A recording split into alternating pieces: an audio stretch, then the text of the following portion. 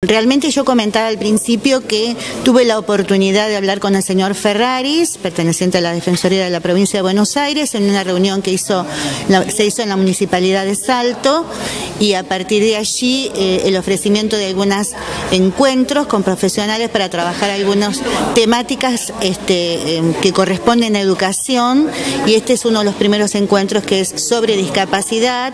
Lo he conversado con la inspectora de Educación Especial, Marcela Gasque está acá presente, como también uno de los referentes, eh, para conocimiento de los docentes y estaban invitados todos los organismos eh, relacionados con esta problemática, ¿no?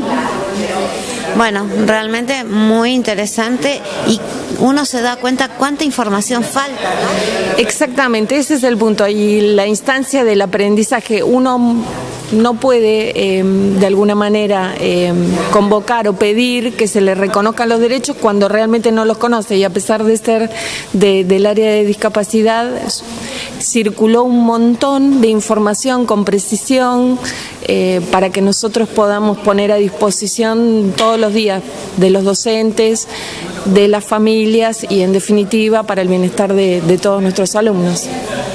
Voy a empezar por el principio. ¿Por qué desde la Defensoría del Pueblo hay tan poca información a nivel provincial? Ni siquiera uno sabía que existían. Sí, bueno, tenemos que saber que la Defensoría del Pueblo es un órgano relativamente nuevo, es un órgano de la Constitución, no de gobierno. Eh, y lo que estamos haciendo ahora es bueno difundir que existe la Defensoría del Pueblo. La provincia de Buenos Aires es un territorio muy amplio, eh, tan amplio como una nación, tan amplio como Francia, podemos decir. Este, y por ende eh, se hace eh, largo la difusión de que existe una Defensoría del Pueblo. En este caso, bueno, obviamente agradecer a las autoridades, a la directora, a los inspectores, a los docentes que estuvieron aquí presentes, este, que pudimos difundir los derechos de las personas con discapacidad. Esa es una tarea que hasta nos obliga a la Convención Internacional de las Personas con Discapacidad.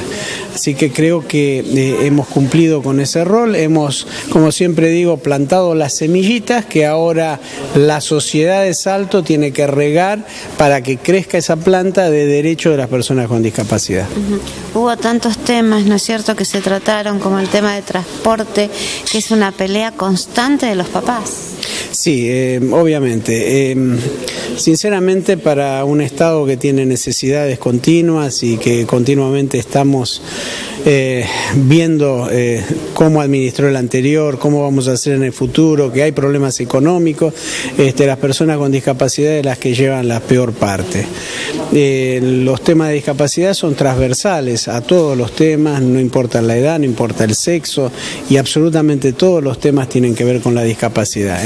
De transporte, eh, obviamente, eh, que es lo que más nos interesaba, que significaba el transporte para que el chico pueda estar escolarizado.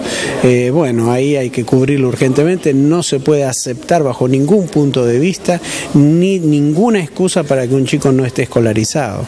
Esto es un mensaje a todos los padres, este, los chicos tienen que estar en la escuela y el chico con discapacidad más aún. hay que tratar de darles todo el apoyo todos los incentivos posibles y no frenarse ante un escollo como puede ser el transporte.